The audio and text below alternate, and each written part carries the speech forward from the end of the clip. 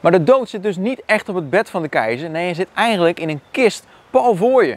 Als je staat te kijken bij het showtje, dan zie je dus een kist staan in ja, de ruimte. En hier zit dus de dood in verwerkt. En deze wordt dus geprojecteerd op een glasplaat in het decor. En op deze manier zie je dus de dood op de keizer zitten.